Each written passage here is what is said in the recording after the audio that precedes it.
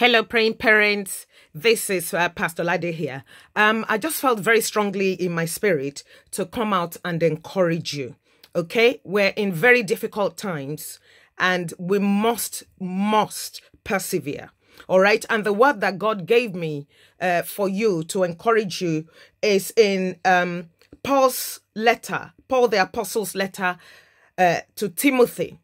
So I'm going to read to you from Second Timothy chapter 2, verse 1. It says, You therefore, my son, be strong in the grace that is in Christ Jesus. First and foremost, praying parents, I'm just encouraging you to be strong. We've got to be strong in these times. We have no other choice, all right? We are in the thick of it. We're going through the valley of the shadow of death because we're hearing death to the right, death to the left. Everything that is in the news is about death, it's about uh, coronavirus and all of that. But in spite of that, I just want to encourage you in the word of God. Um, Paul is saying in Second Timothy chapter 2, in verse 3, he says, You you therefore must endure hardship as a good soldier of Jesus Christ. He's encouraging us to en- en- endure hardship. So I am encouraging you today. Please endure this hardship. God has you in mind.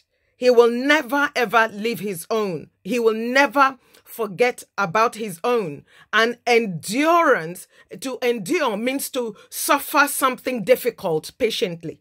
So you must suffer patiently in the word of God, encouraging yourself, speaking the word, reading your Psalm 91, Psalm 23 over your family, and just standing on the word of God. It says that you must endure hardship as a good soldier of Jesus Christ. So we know that as a soldier, you are in, in, in the army, right? So we are the army of Christ, and the Lord will continue to encourage you in the name of Jesus Christ. You must remain in existence.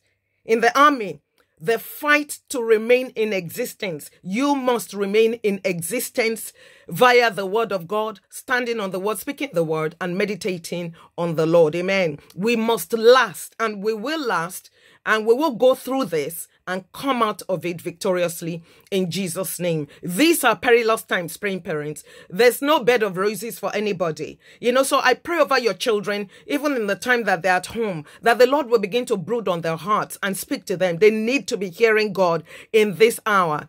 Um, the, the, this is a different time for them. They're not used to it. They don't understand it.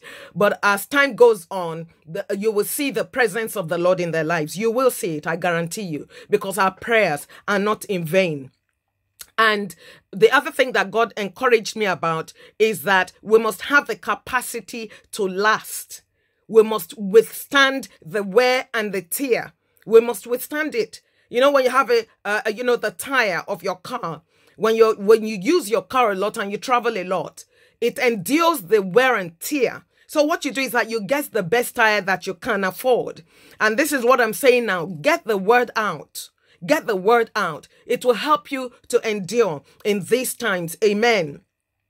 And um you know that we're fighting now. We're in the thick of the battle. You know, but the Bible says that we will run through the troop and scale every wall. So I'm encouraging you to persevere, to carry on doggedly, and to keep on going. Keep on going. Keep on keeping on. The Lord is with us. Amen. You're not alone in this. Uh, Jesus has promised us in Psalm 23 that yea, though we walk through the valley of the shadow of death, we will fear no evil. So I encourage your praying parents, fear no evil. It is well with our souls. It is well with your children. For those of you who have been contracting or, you know, you've been working temporarily and, uh, or, or, or even permanently, I don't know, because some people have been laid off. I want to reassure you today God will make provision for you. Don't worry about it, okay? Don't panic. Don't be afraid. Jesus said, Yea, though we walk through the valley of the shadow of death, we will fear no evil for thou art with me, you are with me. Your rod and your staff, they comfort me. My word of encouragement to you today be comforted. Christ is in it with you, and you're not alone. All right? We're going to come out of all this. And I pray today that God will bring you new jobs, new contracts. In the name of Jesus Christ, you will find favor unusual favor, unmerited favor, unmerited favor will come your way in Jesus' mighty name. So I pray over you. I pray over your children in the name of Jesus Christ that the Lord will protect your children from these evil times, these evil diseases, these viruses, these germs. I plead the blood of Jesus over you and your families in Jesus' mighty name. Be encouraged. All right. Be encouraged. Um, the thoughts of God towards you and your children are of good and not of evil to bring you to an expected end. God bless you mightily. In Jesus' name, amen.